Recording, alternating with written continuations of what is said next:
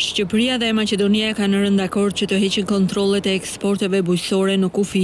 Kjo është vendosur në takimin që pati ministri i Bujqësisë dhe Zhvillimit Rural Bledi Çuçi me homologun nga Maqedonia e Veriut, Trajan Dimkovski, i cili ndodhet në Tiranë për një vizitë zyrtare. Ministri Çuçi u shpreh se pritja në kufi për analizat ka dëmtuar prodhimet shqiptare. Që dhe këtë njëzet përqindësh ne ta rishikojmë sepse sigurisht që kjo gjë krijon problem për produktet bujqësore të cilat kanë një veçori që janë të freskëta dhe dhe koha e gjatë e pritjes në kufi për për marrjen e përgjigjeve të analizave bën që ato të prishen apo të kalojnë.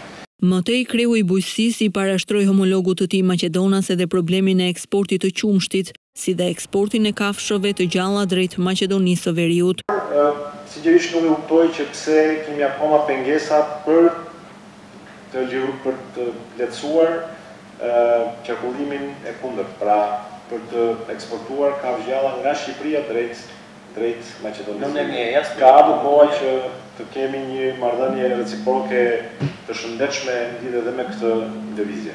Në përfundim të dy ministrat u dakordësuan që tre grupe pune të ndjekin këto çështje në nivel teknik dhe më pas të mbërrihet tek nënshkrimi i marrëveshjes.